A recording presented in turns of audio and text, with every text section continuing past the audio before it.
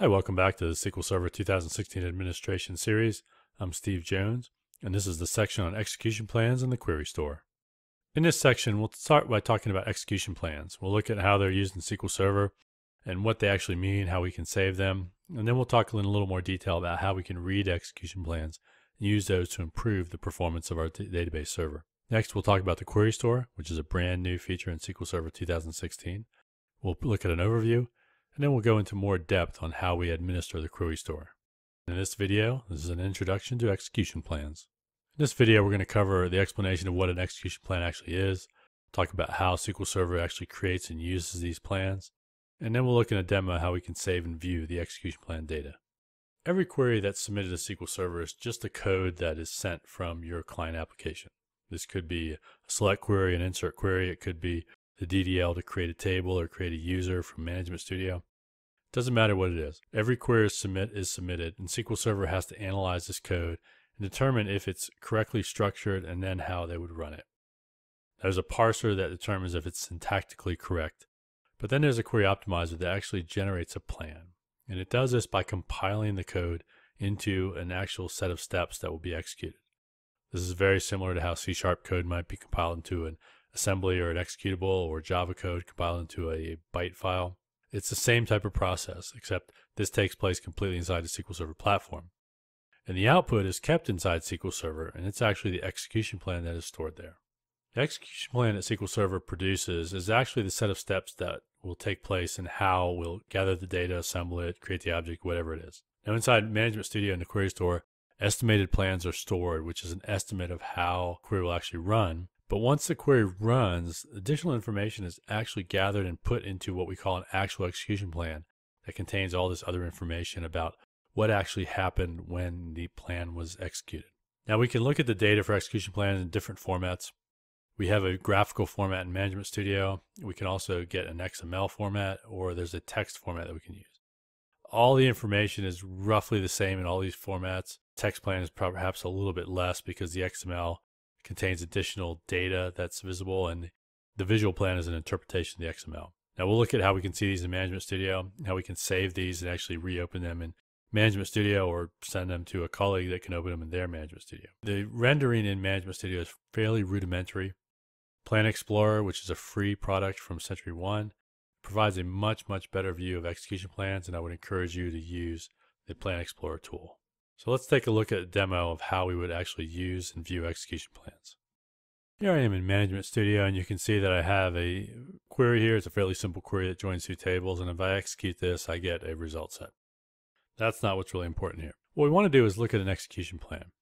So in this case I'm going to start by showing you a text plan. So I'm going to set the show plan text on. We'll execute that.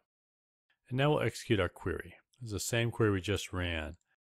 Now you'll notice in this case, I don't get the results that I expect, but instead I get the statement text, which is the same text that's up here at the top. And then I get a plan here at the bottom that talks about how this will be executed. In this case, there will be two clustered index scans, which will take place first. A merge join will connect those two scans into a result. And then this top expression, which was at the very beginning of my code, will be applied to that result set. Again, this is a fairly rudimentary way of looking at a plan. Let's look at a better way. Now here I have a much more complex query. If we look at this, I've got a CTE up here that joins a number of tables. And then down here, we join back the results of that in a recursive fashion. Now again, if I execute this, I get some kind of result. But Let's stop for a minute. You'll notice I have this button at the top of Management Studio that says Display Estimated Execution Plan. Now, if I click that, what happens is I get this execution plan at the bottom and I get a graphical view of things. Let's make this a little bit larger so we can see. You can see here's my select. There's a sort operator here, which is actually going to take place at the bottom of my query, which is this order by operation. So we're going to sort this input. And if you look at the bottom of the pop-up, you'll see sorting by some values that are there. Okay, we've got values that were returned and there's both ascending values. And so the operation of the query kind of works in this fashion from left to right. Data actually flows from right to left. So this clustered index seek and this index seek and these index seeks are the first operations that take place. And these arrows provide me with a view of what's happening. And if I hover over them, you can see there's an estimated number of rows and data that are going to be moved. So these two tables will actually go into a nested loop join. From there, I estimate one row comes out. This compute scalar, when I look at this, is actually value that's going to convert some of my data. In my query. And so all of this information is used by the SQL Server to actually execute that query. It looks like quite a bit of information, but this is actually not too bad of a plan. There are much worse plans. And so by looking at this, I can see how SQL Server will actually execute my query. Now, if you'll notice when I look at this, there's a physical operation and a logical operation in the pop-up, and then a bunch of estimates. Right? There's a mode, there's cost, there's IO cost, etc. These are all estimates based on the data distribution and statistics that exist in the table. These aren't the actual plan. But let's look at the actual plan. Now up here was the estimated plan. If I come over here, you'll see there's an actually there's an include execution plan button that I can click. And if I click this and execute my query, I get a third tab at the bottom of my results, and that's my actual execution plan. Now it looks very similar to the estimated plan, and it's rare that anything in here would change substantially. The one difference is that what could happen is the actual number of rows and actual number of operations could be different. And so if you look now, in addition to a physical and logical operation, I have actual and estimated modes. I have actual and estimated costs and actual and estimated rows. And by looking here, I can see what has actually happened in my query.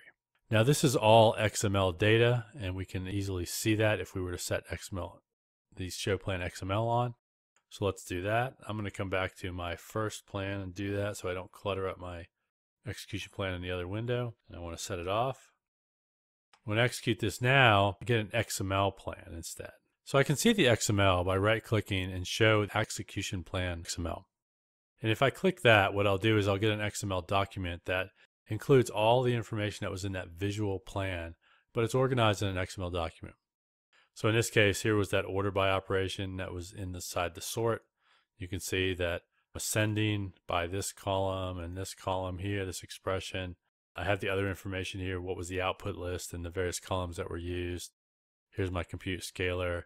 And if I scroll down, eventually what I'll find is that I've got index seeks down somewhere at the bottom here. And these are the operations that took place that actually executed the plan. So here's my seek predicates. There's the seek keys. In this case, the business entity ID was the column that was seeked. And the operators we can see in various information. So I can see the XML in that sense. When I right clicked here, I had this other option to save the execution plan. So let's do a save as. In this case, let's call it Packt and we'll save that plan. Now, if I wanted to send this to a colleague, they could get download that .SQL plan file. And They could actually open it. And so in this case, if I say open, I'll pick this Packt plan. I say open. And what I do is I get that in a new tab and I get that same plan that I had before. And if I look here, we'll see the actuals in here as well. So if I were to go over and look here, estimated that the actual number of rows would be zero, and indeed there were zero there. Same thing here. By putting all this information together, we can start to analyze how SQL Server works. These execution plans are very, very valuable, and so you should be comfortable with producing an execution plan and also sending it to colleagues.